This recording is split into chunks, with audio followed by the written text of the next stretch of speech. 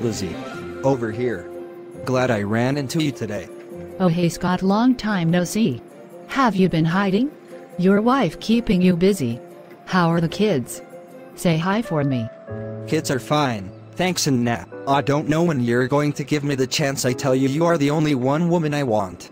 And I'm serious. I like you but I'm not trying to get hurt plus I'm married. Alright since you're married, I'll leave you alone. But I'm just saying you don't look married. How are you saying that? Well, because every time I see you, you're alone. Isn't that just a little bit weird for a married woman?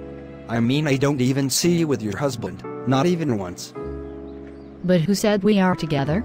Sometimes in life things don't always go as planned or how you would like them to go but still it's necessary to never give up love who you are and keep throtting and that's exactly what I did. I know persons don't agree with me but until you're in that very situation you would never get it. So why not just get a divorce, like I did? Well because Mr. Man refused to give me one and it's kind of expensive to get one on my own. So I'm just gonna leave it to the gods. So you're single. I mean divorced?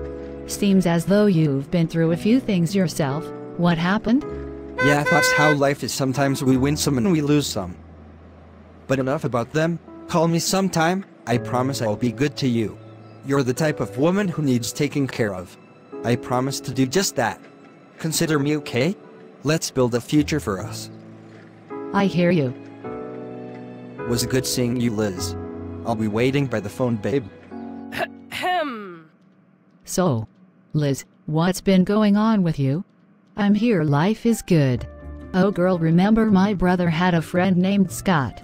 Well, we ran into each other the other day, and he is still super fine. Yes. I remember him, he is so cute. Yeah, he is. But you know, my huge problem is I'm still legally married, but he seems to be a good man. My husband lives in another country, we don't get along, plus Scott has been through a lot, and I feel sorry for him. I feel like he needs someone in his corner. Liz, I would say go for him because you're always alone. Your husband does not understand what he has, but I can't make this choice for you.